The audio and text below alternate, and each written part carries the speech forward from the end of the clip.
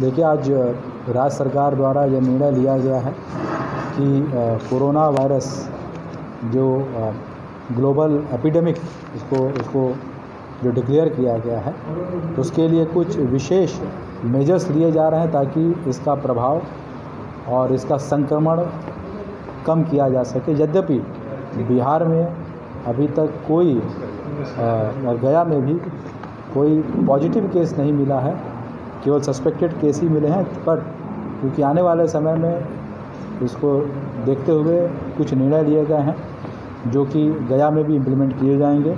सबसे पहले सभी स्कूल्स गवर्नमेंट और प्राइवेट स्कूल्स इकतीस मार्च तक के लिए बंद किए इंटर इकतीस मार्च तक बंद किए जाते हैं। सभी कॉलेजेस इकतीस मार्च तक बंद रहेंगे, जिसको पाठ पठन पाठन का कार्य बंद रहेगा। सभी कोचिंग इंस्टीट्यूट में पठन पाठन का कार्य इकतीस मार्च तक बंद रहेगा। इसके अतिरिक्त बड़े public gatherings large gathering government की तरफ़ से या जो होते हैं, वो भी हम लोग अभी स्थगित रखेंगे और हम लोग सुनिश्चित करेंगे कि इसी तरह से जो गवर्नमेंट प्रिमाइस से अगर कोई प्राइवेट गैदरिंग भी इसका अभी परमिशन नहीं दिया जाएगा। साथ में ही जो सरकारी पार्क हैं, जहाँ पर जहाँ लार्ज गैदरिंग होने की संभावना होती है, उनको बंद रखा जाए।